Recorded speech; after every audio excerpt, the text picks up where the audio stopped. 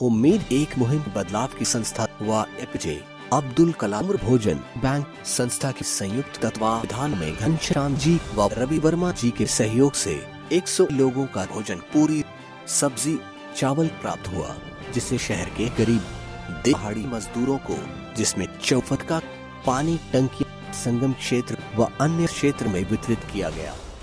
जिसमें उम्मीद संस्था संस्थापक राहुल देव आज़ाद अध्यक्ष रवि कुमार, लेखक, जी, सहयोगी संस्था संचालक अब्दुल दानिश जी व प्रिंस स्टेशन जी व अन्य साथी उपस्थित रहे।